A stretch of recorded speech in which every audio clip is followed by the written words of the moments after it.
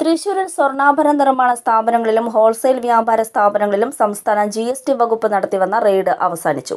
നൂറ്റിനാല് കിലോ അനധികൃത സ്വർണം പിടിച്ചെടുത്തു. കണക്കിൽപ്പെടാത്ത സ്വർണം കൈവശം വെച്ചതിന് മൂന്ന് ദശാംശം നാല് കോടി പിഴ അടപ്പിച്ചു. ഓപ്പറേഷൻ ടൊറേ ഡെൽ ഒറോ എന്ന പേരിലുള്ള റെയ്ഡ് സംസ്ഥാനം കണ്ടതിൽ വെച്ച് ഏറ്റവും വലുതാണ്. സംസ്ഥാന ജി എസ് ടി ഇന്റലിജൻസ് വിഭാഗമാണ് റെയ്ഡിന് നേതൃത്വം നൽകിയത്. മൂന്ന് ജില്ലകളിലെ സ്ത്രീകൾ ഉൾപ്പെടെയുള്ള എഴുന്നൂറ് ജി എസ് ടി ഉദ്യോഗസ്ഥർ ഒരേ സമയം പങ്കെടുത്തായിരുന്നു പരിശോധന. തൃശൂരിലെ എഴുപത്തെട്ട് കേന്ദ്രങ്ങളിലായിരുന്നു ഒരേ സമയം റെയ്ഡ് നടത്തിയത്.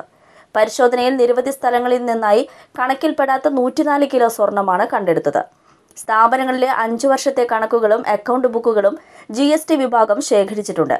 ഇവ പൂർണമായി പരിശോധിച്ചാൽ മാത്രമേ നികുതി വെട്ടിപ്പിന്റെ കൃത്യമായ ആഴം വ്യക്തമാകൂവെന്ന് G S T intelligence deputy commissioner Krishnakumar വ്യക്തമാക്കി.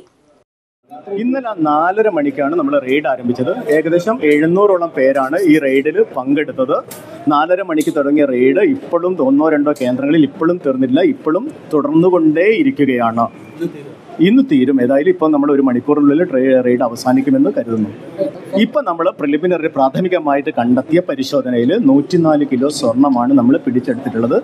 അതുകൂടാതെ മൂന്ന് പോയിന്റ് നാല് പൂജ്യം കോടി രൂപ നമ്മൾ പിഴയായിട്ട് ഇപ്പം ഈടാക്കിയിട്ടുണ്ട്. അപ്പം കൂടുതലായിട്ടുള്ള അന്വേഷണങ്ങൾ കഴിഞ്ഞ അഞ്ച് വർഷത്തെ കച്ചവട സംബന്ധമായ എല്ലാ രേഖകളും നമ്മൾ കലക്ട് ചെയ്തിട്ടുണ്ട്. ഡിജിറ്റൽ എവിഡൻസ് എടുത്തിട്ടുണ്ട്. ബുക്സ് ഓഫ് അക്കൗണ്ട്സുകൾ എടുത്തിട്ടുണ്ട്.